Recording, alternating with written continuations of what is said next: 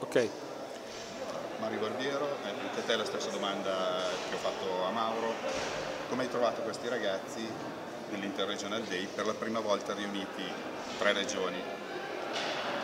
Ma sicuramente il livello è salito di molto rispetto al Regional Day come prevedevamo, è un'esperienza che già dal primo impatto di questo primo allenamento ci ha lasciato veramente un bel segnale, un bel segnale quindi probabilmente questa nuovo, nuova svolta dell'attività dell di selezione, cioè quella di radunare tre, tre regioni, tre, quattro regioni, metterle insieme e far allenare insieme in una giornata questi ragazzi è sicuramente eh, assolutamente formativa, quindi credo che la strada sia giusta, il livello che ho trovato stamattina è molto buono, soprattutto una grande attenzione.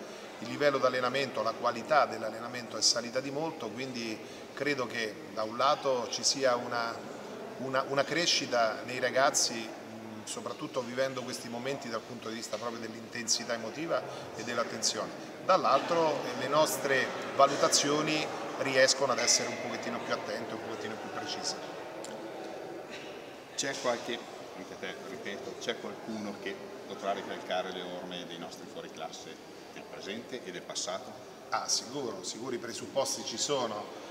Come ormai sappiamo, avere i presupposti è già, è già un, un punto di partenza importante, poi è chiaro che il curriculum, le opportunità, il lavoro eh, farà la differenza, però ci sono già in questo gruppo che abbiamo visto stamattina ragazzi che hanno dei buoni presupposti e che hanno i requisiti per poter iniziare un percorso. Anche, ringraziamo anche Mario Barbiero. Prima di chiudere ovviamente è giusto darti diritto di replica a quanto ha detto Mauro sul derby. Ma io non so con chi gioca la Juve oggi, credo che sia una partita per la Juventus di routine, quindi in bocca al lupo anche la Juve. Grazie Mario. Prego.